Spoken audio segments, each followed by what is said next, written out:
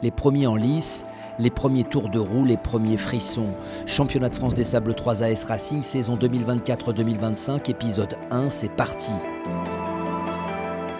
Nouvelle saison, nouveau format aussi pour le Beach Cross de Berck Pas-de-Calais qui passe à l'endurance pour trois catégories dont les espoirs en piste samedi matin.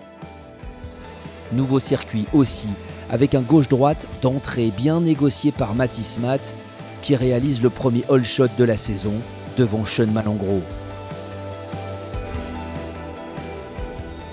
Mathis Matt, deuxième de la catégorie l'an dernier, qui garde les commandes pendant les premiers tours avant d'être rejoint, puis bientôt dépassé par Généraux Berens.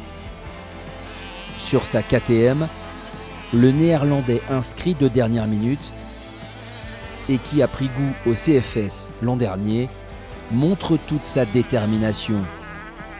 En troisième position, on retrouve Tilan Laguin qui s'accroche pour garder le contact. Qui dit endurance dit ravitaillement.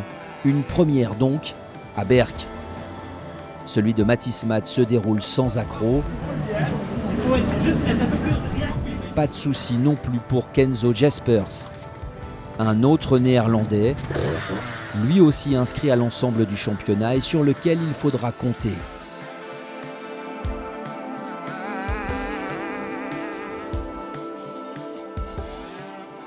Après son bon départ, Sean Malongro cède peu à peu du terrain.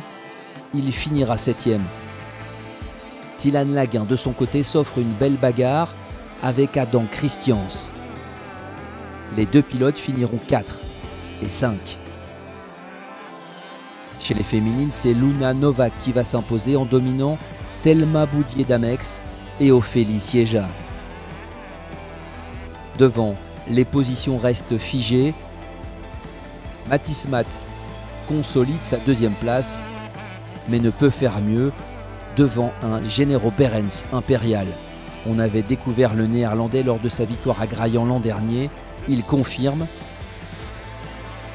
et remporte facilement avec plus d'une minute d'avance le Beach Rose de Berck en se permettant de faire le show en passant la ligne.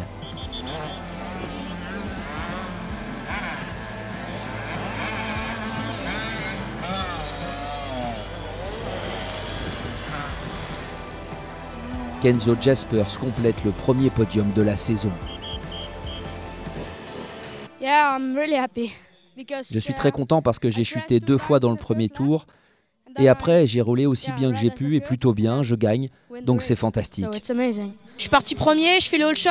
Euh, après euh, j'ai Généraux Birens qui, qui, me passe et euh, je fais toute la course deuxième. Et puis franchement une bonne course pour moi. Yeah, the race was okay, but la course est bonne, mais je ne peux pas dire que je suis heureux. Je me suis montré aujourd'hui, mais j'espère un meilleur résultat lors des prochaines courses. Au classement général, on retrouve donc deux Hollandais sur le podium.